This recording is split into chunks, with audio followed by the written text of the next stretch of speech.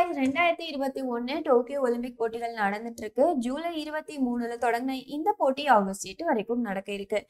நாலு வருஷத்துக்கு ஒரு தடவை நடக்கிற இந்த போட்டி ரெண்டாயிரத்தி இருபதுல நடக்க வேண்டியது.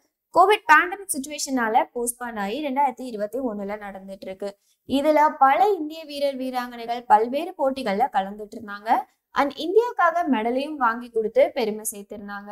நம்ம ஒலிம்பிக் அப்டேட்ஸ் எல்லாத்தையும் தொடர்ந்து பார்த்துட்டு வரோம். அந்த வரிசையில பதினஞ்சாவது நாளான ஆகஸ்ட் ஏழு என்னென்ன முக்கியமான மேட்ச் இருக்கு அப்படின்றதையும் இந்தியாவுக்கு என்னென்ன மேட்ச் இருக்கு அப்படின்றதையும் தான் நம்ம பார்க்க போறோம்.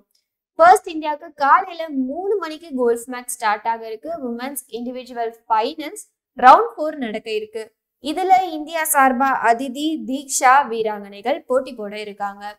அதை தொடர்ந்து athletics men's javelin throw finals நடக்க இருக்கு.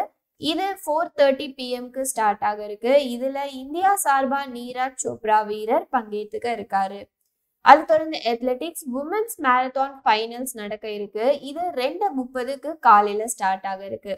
அதை தொடர்ந்து basketball men's tournament finals இருக்கு. நாலு முப்பது மணிக்கு இது ஸ்டார்ட் ஆகுது.